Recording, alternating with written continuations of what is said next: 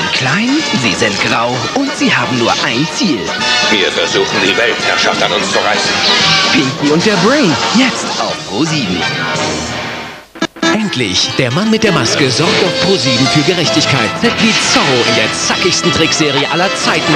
Doch wie lautet Zorros echter Name? Schreibt uns die richtige Antwort und gewinnt mit dem Pro7 Club und Reisen und mehr einen zweiwöchigen Trip für zwei Personen nach Mexiko.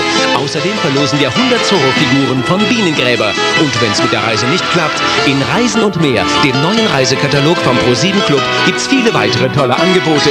Infos zum Gewinnspiel und zu Reisen und mehr findet ihr im Pro7 Text und im Internet. Z wie Zorro ab 21. November auf Pro 7.